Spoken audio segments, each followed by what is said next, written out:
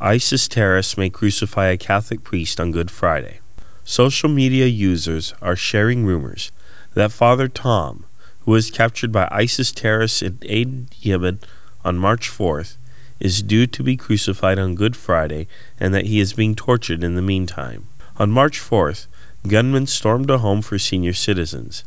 They killed four of the five nuns working there. The fifth nun, Sister Sally, hid behind a door and said gunmen passed by repeatedly, but they miraculously never found her.